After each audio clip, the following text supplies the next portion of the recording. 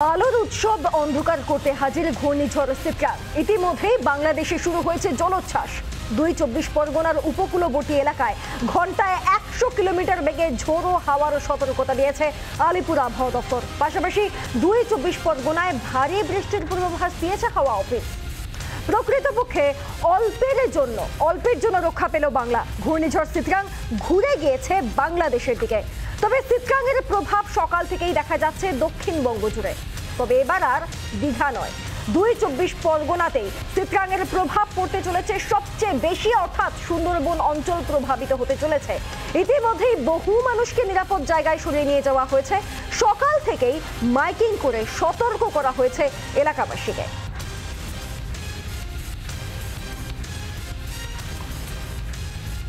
সত্তর থেকে নব্বই গাস্টিং হান্ড্রেড এটা চলবে হচ্ছে নর্থ অ্যান্ড সাউথ চব্বিশ পরগনা।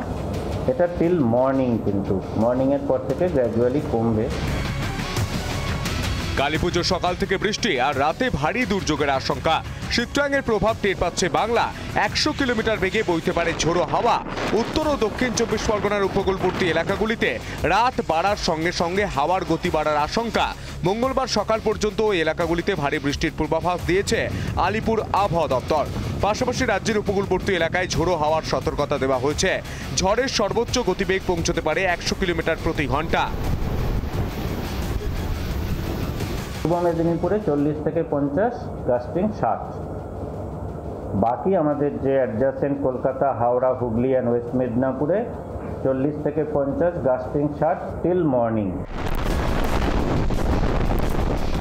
শক্তি বাড়িয়ে অতি শক্তিশালী ঘূর্ণিঝড়। তারপর মঙ্গলবার ভোরে বাংলাদেশ উপকূলে আছড়ে পড়বে শীতরাং। বৃষ্টিটা হবে যা কিছু হবে নর্থ এবং সাউথ চব্বিশ পরগনায়।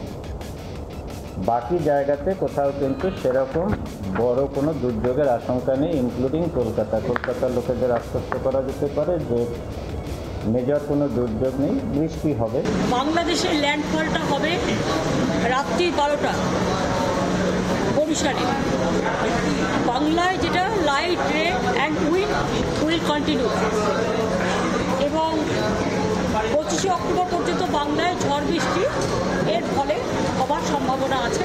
যতক্ষণ পর্যন্ত এটা কমপ্লিট না হচ্ছে সাইক্লোনটা ততক্ষণ পর্যন্ত মানুষ যেভাবে সুন্দরবন এরিয়ায় সাগর এরিয়ায় বিশেষ করে যেসব এরিয়ায় প্রবলেম আছে, তা যা সতর্কমূলক ব্যবস্থা নেওয়া হয়েছে, সতর্কতামূলক ব্যবস্থা জারি থাকবে। শীতরাঙের প্রভাবে মঙ্গলবার সকাল পর্যন্ত দক্ষিণবঙ্গের জেলাগুলিতে হালকা থেকে মাঝারি বৃষ্টি হতে পারে বলে জানিয়েছে আলিপুর আবহাওয়া দপ্তর। কলকাতার আশঙ্কার কোনো কারণ নেই বলেই জানিয়েছে আলিপুর আবহাওয়া দপ্তর। রিপাবলিক বাংলা